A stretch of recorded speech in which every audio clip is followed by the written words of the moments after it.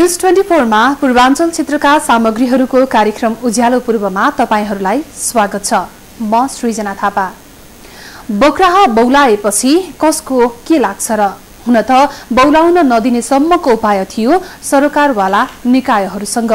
तर समयमा काम नगर्ने अनि फुर्सदमा पछुताउने नेपालीहरूको मौलिक परिचय नै हो। यस्तै भयो बक्राहाको सन्दर्भमा पनि।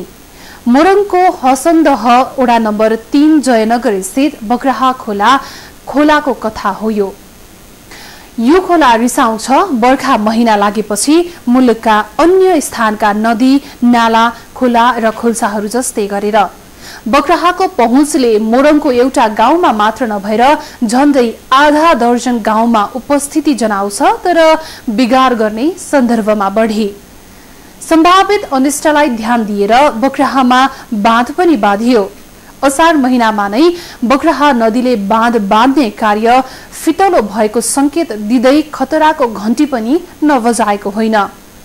त्यतिखेर बाँध र तटबन्धलाई अझ बलियो पार्ने भन्दै बोरा थुपारियो बाँस गाडियो तर असारले जिस्क्याएको बक्राहाले साउनमा आफ्नो खास रूप देखाउँदा मोरङमा पाँच सय घर परिवार मात्र डुबानमा परेन कैयौं हेक्टरमा लगाइएको धान बाली कटान गर्यो। गाउँको सहरसँगको सम्बन्ध विच्छेद भयो सहरकाहरू गाउँ जान नसक्ने भए। सुन्दा पनि अचम्म मात्र पाँच लाख रुपियाँको अभावमा पक्की तटबन्ध एवं बाँध बनाउन नसकिएको बक्राहले हेर्दा हेर्दै पाँच करोडको क्षति गरायो। यो प्रसङ्ग अघि कार्यक्रमहरूको प्रस्तुति साप्ताहिक गतिविधिमा। विराटनगर उर्लाबारी सडक खण्डमा पर्ने मोरङको डाइनिया वार्ड नम्बर सात भेडुवा थान नजिकको सडकको मर्मत कार्य सुरु गरिएको छ। गत साता बग्रा खोलामा आएको बाढीले सो सडक कटान गरेको थियो। सो सडक खण्ड कटान गरेका कारण मोरङको पूर्वी दक्षिण भेगका डाइनिया बरडङ्गा गोविन्दपुर झुर्किया महादेवा र आमगाछीका करिब पचास हजार जनतालाई सदरमुकाम विराटनगर आउन पूर्व पश्चिम राजमार्ग भएर आउनुपर्ने बाध्यता छ। सडक डिभिजन कार्यालय विराटनगरले सो सडक मर्मतका लागि काम थालिसकेको र पाँच दिनभित्रमा यातायात सञ्चालन गर्न सकिने सकिने गरी सडक मर्मत गरिने सो कार्यालयका सूचना अधिकारी लीलाकान्त पौडेलले जानकारी दिनुभयो। बक्रा खोलाको बाढीले सो ठाउँमा बिस मिटर सडक कटान गरेको छ भने कलभट पनि भत्काएको छ। सडक भत्काएपछि स्थानीयले बनाएको बाँसको पुल तर्न सर्वसाधारणले पैसा समेत तिर्नु परेको थियो। मान्छे हिँडेको दस रुपियाँ र मोटरसाइकल तारेको पचास रुपियाँ लिन थालेपछि सांसद शिवकुमार मण्डलले बाँसको पुल बनाउन लागेको करिब सत्तरी हजार रुपियाँ खर्च बिहोरेर आवजावतमा पैसा लिने कार्य रोकेका थिए। सडक मर्मतका लागि आपतकालीन बजेट समेत अभाव भएकोले सडक सुचारू गर्न ढिलाइ भएको सडक डिभिजन कार्यालय विराटनगरले जनाएको छ। नेपाली कङ्ग्रेस नेत्री सुजाता कोइरालाले नेकपा एमालेलाई साथमा नलिएसम्म नयाँ सरकार सफल नहुने बताउनु भएको छ। प्रेस युनियन मोरङले विराटनगरमा आयोजना गरेको पत्रकार भेटघाटमा नेत्री कोइरालाले नेकपा एमालेलाई चिट्याएर कङ्ग्रेस माओवादी केन्द्र गठबन्धनको नयाँ सरकारले कुनै पनि काम गर्न नसक्ने बताउनु भयो। उहाँले केपी ओलीको सरकारसँग कङ्ग्रेसले सहकार्य गर्न नसकेको टिप्पणी गर्दै अबको सरकारमा एमाले सहभागी नभए पनि राष्ट्रिय मुद्दामा सघाउनु पर्ने धारणा व्यक्त गर्नुभयो। उहाँले ओली सरकारले गरेका सम्झौताहरू कार्यान्वयन गर्दै विकासका योजनाहरूलाई अबको नयाँ सरकारले निरन्तरता दिनुपर्ने पनि सुझाव दिनुभयो।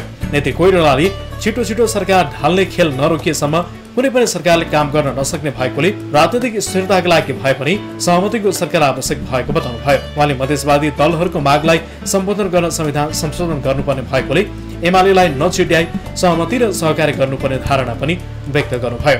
पार्टीभित्र कारवाहीबारे सोधिएको प्रश्नमा नेत्री कोइरालाले संविधान विरोधी कुरा गर्ने अमरेश कुमार सिंहलाई कारवाही नगर्ने र देखिएका कुरा भन्नेलाई कारवाही गर्ने भनेर धम्की नदिन समेत चेतावनी दिनुभयो। नेपाली कङ्ग्रेसका नेत्री सुजाता कोइरालाले मोरङको गोविन्दपुर गाविसका बाढी पीडितहरूलाई करिब छ लाख पचास हजार रुपियाँ बराबरको राहत वितरण गर्नु भएको छ। गोविन्दपुरमा आयोजित एक कार्यक्रमका बीच जेपी फाउन्डेसन र भातृ सामुदायिक कल्याण समाजको संयुक्त आयोजनामा दुई सय पचास पीडित परिवारलाई राहत वितरण गरिएको हो। विभिन्न सङ्घ संस्था राजनैतिक दल र रेड क्रसले बाँडेको राहतमा चिउरा भुजा लगायतका सामग्री मात्र भएको र दाल भात खान नपाएको गुनासो आएपछि जेपी फाउन्डेसनले प्रत्येक परिवारलाई दस किलो चामल र त्रिपाल वितरण गरेको थियो। गोविन्दपुरमा चार सय परिवार डुबानबाट पीडित भएकोमा एक सय परिवार अझै पनि पूर्ण रूपमा विस्थापित भई स्थानीय विद्यालय र आफन्तको घरमा आश्रय लिइरहेका छन्। जेपी फाउन्डेसनले हसन दह अमर दह डाइनिया र आमगासी गाविसका बाढी पीडितहरूलाई पनि राहत बाँड्ने नेत्री कोइरालाले जानकारी दिनुभयो बगरा खोलाको कटान र डुवानबाट एक सय घर पूर्ण रूपमा क्षतिग्रस्त भएको छ भने दुई सय अस्सी घरलाई आंशिक क्षति पुर्याएको दैवी प्रकोपदार समिति मोरङले जनाएको छ। मोरङमा करिब आठ हजार जनताहरू बाढी पीडित भएका छन्। पूर्ण क्षति भएका घर धनीलाई सरकारले राहत स्वरूप पाँच हजार रुपियाँ नगद दिने निर्णय गरेको मोरङका प्रमुख जिल्लाधिकारी तोइम राईले जानकारी दिनुभयो एक्सन एड र प्लान नेपाल सामुदायिक विद्यालयमा सञ्चालन गरिएको अङ्ग्रेजी माध्यमको शिक्षाको विरोधमा उत्रिएको छ। जनसरकार सङ्घ मोरङले विराटनगरमा आयोजना गरेको शिक्षा ऐन आठौँ संशोधन र निशुल्क शिक्षा विषय सार्वजनिक सम्वाद कार्यक्रममा एउटै विद्यालयमा दुई किसिमको शिक्षा पद्धति लागू गरिएकोले विभेद भएको भन्दै विरोधमा उत्रिएको हो। मोरङ अहिले सामुदायिक विद्यालयहरूले अङ्ग्रेजी माध्यममा पढाइ सुरु गरेपछि अधिकांश अभिभावकले आफ्ना बालबालिकाहरूलाई निजी बोर्डिङ स्कुलको सट्टा सामुदायिक विद्यालयमा पढाउन थालेका छन्। सामुदायिक विद्यालयहरूले अङ्ग्रेजी माध्यममा शिक्षा दिन नयाँ शिक्षकहरू भर्ना गरेका छन् भने स्कुल बस समेत किनिसकेका छन्। यसका लागि उनीहरूले अभिभावकसँग वार्षिक दस हजार रुपियाँसम्म सहयोग लिने गरेका छन्। एक्सनेटका प्रमोद जयसवालले सामुदायिक विद्यालयहरूले उठाएको यही पैसाको विरोध गर्दै अङ्ग्रेजी माध्यमका नाममा सामुदायिक विद्यालयहरूले दुई किसिमको नागरिक उत्पादन गरिरहेको आरोप लगाउनु भयो। सो कार्यक्रममा सहभागीहरूले सामुदायिक विद्यालयले अङ्ग्रेजी माध्यम सुरु गरेपछि निजी विद्यालयहरूको व्यापार सुक्ने भएकोले यसको विरोध गरिएको गुनासो गरेका थिए। उनीहरूले समाजवाद उन्मुख मुलुक भनेर संविधानमा नै लेखिएकोले शिक्षालाई निजीकरण गर्न नहुने र निजी बोर्डिङ स्कुलहरू बन्द गरिनुपर्ने धारणा व्यक्त गरेका थिए।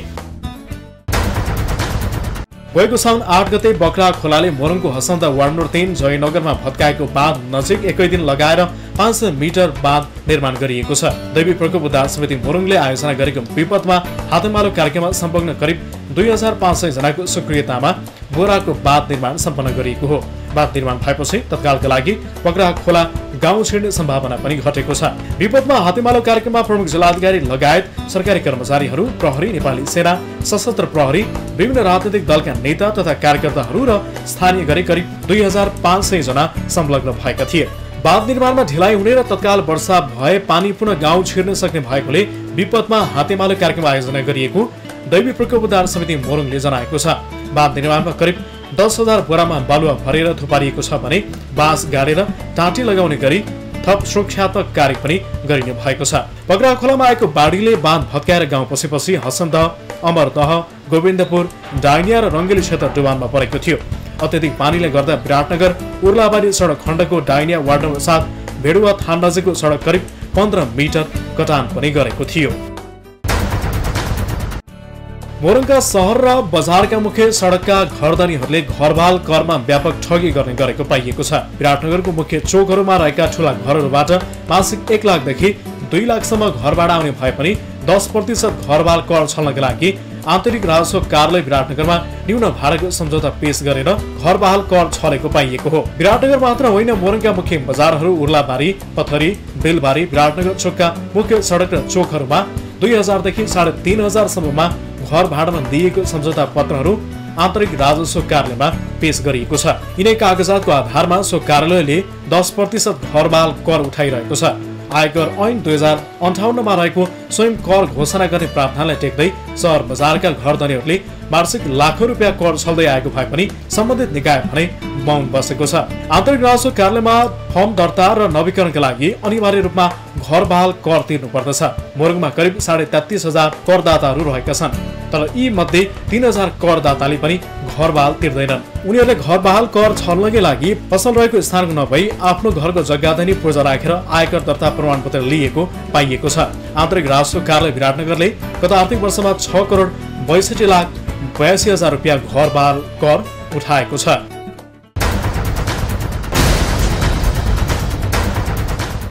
देश दर्दमा छ। यतिखेर पीडा र चितकारको आवाज पहाड कन्दरा हुँदै मधेसको मैदानमा पनि उत्तिकै सुनिँदैछन्। पहाड पहिरोको पीडामा पर्दा तराई मधेस डुवानको पीडामा पौडदैछन्।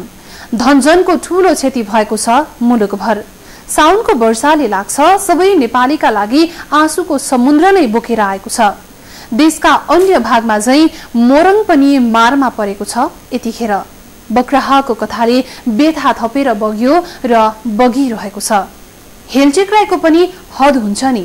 हेलचेक्राई र सरकारी निकायहरूको उदासीनको जवाफ हो बक्राहको रौद्र रूप र यसले ल्याएको विनाशको कथा। पाँच लाख रुपैयाँको अभाव देखाएर तटबन्ध निर्माण कमजोर रूपमा गरियो। त्यसैको जवाफमा बक्राहालाई पाँच करोड रुपैयाँ बढीको क्षति गराएको छ। बक्राहाको बाँध भत्किन सक्ने सम्भावना र खतरालाई देखाउँदै स्थानीयवासीले सरकारवाला निकायलाई समयमा नै सचेत पनि गराएका हुन्। तर जल उत्पन्न प्रकोप नियन्त्रण डिभिजन कार्यालय विराटनगर कानमा तेल हालेर सुत्यो। परिणाम जो छ अगाडि छ। एउटा भयावह तस्विर। जसले मोरङका प्रभावित क्षेत्रमा बासिन्दालाई सदैव झस्काइरहनेछ र तर्साइरहनेछ। हेरौँ यो रिपोर्ट।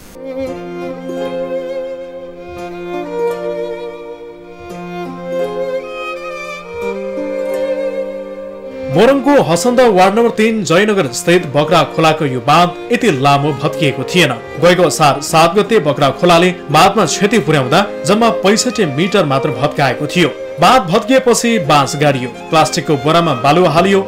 जेनतेन बाँधलाई सामान्य मर्मत पनि गरियो। सबै ढुक्क थिए। अब बकरा खोलाले बाँध भत्काउन सक्दैन भनेर करिब एक लाख पचास हजार रुपियाँमा मर्मत सम्पन्न भएको थियो। तर एक महिना पनि बित्न पाएको थिएन बकरा खोलाले त्यही ठाउँमा पुनः क्षति पुर्याउन थाल्यो। हेर्दा हेर्दै बाँध करिब तिन सय मिटर कटान गर्यो। बाढी त्यसपछि सोझै हसनदहको जयनगर सुगा बजार मात्र छिरेन। अमरदह गोविन्दपुर हुँदै डाइनिया र रङ्गेलीका विभिन्न वाडाहरू डुबानमा पर्यो। करिब नौ किलोमिटर दक्षिणसम्मका खेत बजार डुबान गर्दै धान खेतीमा समेत क्षति पुर्यायो हुँदा हुँदा विराटनगर उर्लाबारी सडक खण्डको डाइनिया वार्ड नम्बर सात भिडुवा थानको सडक नै भत्कायो आवाजावतमा कठिनाई छ भने अहिले यातायात सञ्चालनमा समेत पूर्ण रूपमा ठप्प छ। करिब पाँच लाख रुपियाँ भएको भए जयनगरको बकरा खोलाको बाँध अलि बलियो गरी बनाउन सकिन्थ्यो। त्यही पाँच लाख नहुँदा अहिले करिब पचास करोड रुपियाँ भन्दा बढीको क्षति भएको छ। बकराको बाँध पुरानी संरचनामा बनाउन मात्र एक करोड रुपियाँ लाग्छ भने डाइनियाको सडक बनाउन त्यस्तै एक करोड लाग्ने प्राविधिकहरूले बताएका छन्। सयौं हेक्टरमा लगाएको धान बाली पूर्ण रूपमा क्षति भएको छ भने पाँच दिन स्थानीयहरूले डर र त्रासमा भोक बाँच्नु पर्यो। समयमा काम नगर्ने अनि फुर्सदमा पशु दाउने नेपाली बानी पुरानै हो। मोरङमा यसपटक बक्रा खोलाको बाढीका कारण भएको अधिकांश क्षति समयमा काम नगरेरै भएको हो। स्थानीय बासिन्दाहरूले सबै दोष जल उत्पन्न प्रकोप नियन्त्रण डिभिजन कार्यालय विराटनगरलाई लगाएका छन्।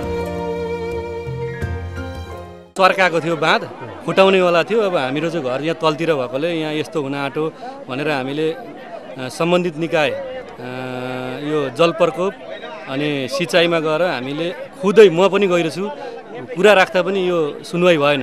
त्यसको ठ्याक्क यो यो अघिल्लोचोटि असार सात गते फुटाउँदाखेरि त्यसको नौ दिन अगाडि हामीले जलपरको अधि के ठाकुर हो म जान्दिनँ। ठाकुर चाहिँ ठाकुर के ठाकुर उसलाई समेत फोन गरेर हाम्रो सभासदले फोन गरेर यहाँ फुटाउन आँटेछ तपाईँले हेरिदिनु पऱ्यो भन्दाखेरि म आएर त्यहाँ हेर्छु र त्यसलाई म तुरुन्त म के अरे रोकथाम गर्छु भन्ने कुरो गर्नुभयो। त्यसको ठ्याक्कै नौ दिन पछाडि खोलाले साठी सत्तर मिटर अस्ति लगेको थियो। त्यसको एक महिना पछाडि फेरि यो अवस्था ल्याएको त पहिलेको बाढी गयो अब आउँदैन खोलो भनेर सबैले खर्च गरेर रोपिसकेपछि अहिले दुनियाँको खेत खेत गयो खर्च लगानी गयो। अहिले घरमा भात धान छैन धान बेचेर दुनियाँले लगानी गरे। मान्छेको नहुने बिजोग चाहिँ यतिखेर भयो। तर सरकारले छिट्टो गरेर हेर्नु पर्यो यो। अब फेरि फेरि नदोरियोस् यस्तो। हुन पनि बगरा खोलाको तटबन्ध भत्किँदैछ भनेर स्थानीयहरूले हार गुहार गरेको गत वर्षदेखि नै हो। उनीहरूले दैवी प्रकोप उद्धार समितिको बैठकमा पटक पटक कुरा पनि उठाएका थिए।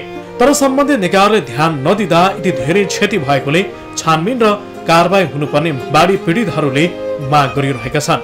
नदी नियन्त्रणको चाहिँ जिम्मेवारी लिएर बसेको जल उत्पन्न कार्यालय हुनसक्छ। उसले माथि सिफारिस गरेको भए यो सिँचाइ मन्त्रालय हुनसक्छ विभाग हुनसक्छ। त्यस कारणले यो चाहिँ के भन्दाखेरि जल उत्पन्न कार्यालयदेखि नै यो विषयमा को दोषी भन्ने कुरा चाहिँ छानबिन गरेर सिँचाइ मन्त्रालयका कर्मचारीहरूमाथि तपाईँको भन्दाखेरि यसलाई चाहिँ तपाईँको भने कारवाहीको भागीदार नबनाउने हो भने आगामी दिनमा पनि यस्ता खालका चाहिँ के भन्दाखेरि एउटा यस्ता खालका समस्याहरू यस्ता खालका दैविक प्रकोपहरू आउन सक्छन्। यो चाहिँ पूर्ण रूपमा चाहिँ के भन्दाखेरि अज्ञानताका कारण होइन जानी जानी नै यो चाहिँ यति ठुलो क्षति चाहिँ हुन पुगेको। यो चाहिँ सरकारी अधिकारीहरूको केयरलेसको एउटा तपाईँको ज्वलन्त नमुना जल उत्पन्न नियन्त्रण डिभिजन कार्यालय विराटनगरले भने आर्थिक अभावका कारण बाँध मर्मत सम्भार गर्न नसकिएको जनाएको छ। बाढी पहिरोको बेला तत्कालीन प्रकोप नियन्त्रण र मर्मत सम्भारका लागि कार्यालयसँग प्लास्टिकको बोरा तार जाली र नाइलोन जाली मात्र राख्ने गरिएको छ। असाढ सात गते हसन्तको जयनगरमा बकरा बाँध भत्किएपछि अन्य शीर्षकको पैसा ल्याएर मर्मत सम्भार गरिएको जल उत्पन्न नियन्त्रण डिभिजन कार्यालय विराटनगरका डिभिजन प्रमुख डाक्टर देवनारायण शाहले जानकारी दिनुभयो। हसन्त पाँच गडेको गतेको आएको बाढीले गर्दाखेरि करिब चालिस मिटर ब्रिज गरेको थियो र त्यो पोइन्ट कर्भमा भएको हुनाले त्यहाँ नियन्त्रण गर्न पनि अप्ठ्यारो भयो तैपनि हामीले स्थानीयको सहयोग र हाम्रो सहयोगबाट पनि त्यसलाई हामीले माटोको काम गरी र पर्कोपाइनको माध्यमले बाँसको कामबाट हामीले कन्ट्रोल गरेर त्यसलाई नियन्त्रण गऱ्यौँ। तर त्यही पोइन्टमा हामीले एउटा स्पर बनाउनु पर्ने आवश्यक थियो र त्यो पानीले गर्दाखेरि त्यहाँ स्पर बनाउन सकिएन। र अत्यधिक पानी पछि मात्रै करिब पन्ध्र गतेको बाढीमा अलि हल्का ड्यामेज गरेको हो। बाढी पहिरो जस्ता प्राकृतिक प्रकोप नियन्त्रण हुन नसक्नुको एउटा कारण प्रकोप हुनु अघिको पूर्व तयारी नगरी त्यसै बसे परिपाटी हो भने अर्को नेपालको आर्थिक वर्षको सुरुवात र अन्त्य हुने दिन।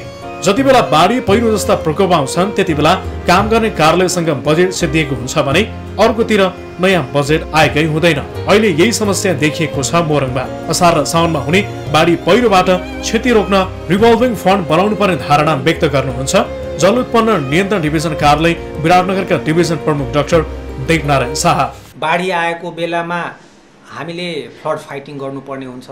त्यसले गर्दाखेरि जुन हामीले एउटा डिजाइन प्लान्ड हिसाबले काम गर्न सक्दैनौँ बोल्डर जाली रिबेटमेन्ट इम्बेङ्कमेन्टका काम सिस्टमेटिक गर्नलाई समय र परिस्थिति पनि आवश्यक पर्छ। त्यो समयमा फ्लडेड भएको हुन्छ। त्यही भएर पनि काम गर्न पनि अप्ठ्यारो भएको हुन्छ र मूलत सबभन्दा अप्ठ्यारा के देखिएको छ भने हाम्रो आर्थिक वर्षको समाप्तिमा फ्लडहरू पनि आउने दैविक प्रकोपका घटनाहरू पनि बढ्ने र हाम्रा आर्थिक वर्षहरू समाप्त भएर नयाँ आर्थिक वर्ष सुरुवात हुने अवस्थामा कार्यालयसँग न त बजेट हुन्छ र त्यो बजेट त्यो त्यो ठुला ठुला क्षतिहरूलाई परिचालन गर्नलाई पनि एउटा आर्थिक हिसाबले समस्या बाढीले गर्दाखेरि प्राविधिक हिसाबले काम गर्न पनि समस्या भएको हुनाले यस्तो समयको लागि एउटा सरकारले रिभल्भिङ फन्ड आपतकालीन फन्डको व्यवस्था भएमा अझ यो आपतकालीन व्यवस्थापन प्रभावकारी हुने देखिन्छ। बग्रा खोलाले मोरङको हसन्त मात्र नभई राजघाट र मधुमल्ला पनि विभिन्न ठाउँमा बाँध कटान गरेको छ। मधुमल्लामा मात्र करिब पाँच सय मिटर कटान गरेको छ भने राजघाटमा सत्तरी मिटर र हसन्तमा तिन सय मिटर। तर यसलाई नियन्त्रण गर्न बजेट छैन। जल उत्पन्न नियन्त्रण डिभिजन कार्यालयसँग। उसले दस हजार थान प्लास्टिकको बोरा र पाँच सय थान नाइलन जाली हसन्तलाई उपलब्ध गराएको छ भने राजघाटका लागि पाँच हजार थान बोरा र दुई सय थान नाइलन जाली उपलब्ध गराएको छ। बाँकी स्थानीय जनश्रमदानबाटै काम भइरहेको छ। मधुमल्लामा भने दुई हजार पाँच सय थान बोरा एक सय थान नाइलन जाली र पचास थान तार जाली उपलब्ध गराएको सो कार्यालयले जनाएको छ। एकातिर समयमा बजेट निकास नहुने मात्र नभई बाढी पहिरो आउने समयमा काम गर्नुपर्ने भएकोले पनि कामको गुणस्तर राम्रो नहुने गरेको स्वयं प्राविधिकहरू स्वीकार छन्। मधुमला स्थित पकरा खोला नियन्त्रणका लागि यस वर्ष जेठको पन्ध्र गते बजेट निकासा भएर आयो। काम गर्दा गर्दै बोक्रा खोलाले मधुमल्ला गाविस वार्ड नम्बर चार र पाँचको तीन ठाउँमा बाँध भत्कायो। माघमा निकासा मागिएकोमा विभागले ढिलो रकम पठाउँदाको परिणाम भोग्नु पर्यो मधुमल्लाका जनताले। सबैमा रकम निकासा भएर आएको भए मधुमल्लामा राम्रो काम गर्न सकिने बताउँछन्। जल उत्पन्न प्रकोप नियन्त्रण डिभिजन कार्यालय विराटनगरका इन्जिनियर सरोज कार्की। बजेट विनियोजन नै यो मधुमल्ला क्षेत्रको लागि ढिला गरी भयो।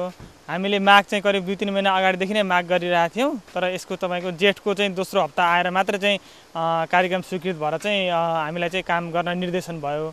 त्यस कारणले गर्दाखेरि ढिलो गरी चाहिँ बजेट प्राप्त भएको हुनाले यसको काम चाहिँ सोचे अनुरूप चाहिँ समयमा हुन सकेन र सम्पूर्ण काम पनि हामीले सम्पन्न गर्न सकेनौँ। समयमै आएको भए चाहिँ हामीले चाहिँ यसको जुन अहिले सबैभन्दा क्रिटिकल ठाउँहरू छ त्यो ठाउँमा चाहिँ हामीले तटबन्ध गरिसक्थ्यौँ र अहिले जे स्थिति यहाँ चाहिँ अब यहाँका जनताहरूले भोगिरहेछन् त्यो सम्भवतः भोग्नु चाहिँ पर्दैन थियो। प्रत्येक प्राकृतिक प्रकोप दुईवटा कारणले हुने गरेका छन्। एउटा मानवीय कारणले र अर्को प्राविधिक कारणले।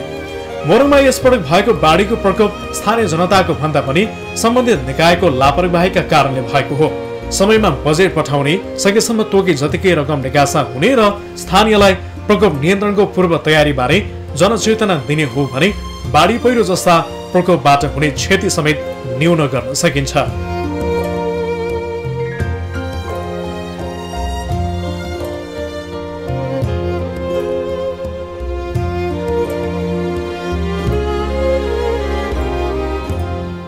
आजका लागि कार्यक्रम उज्यालो पूर्व यति नै।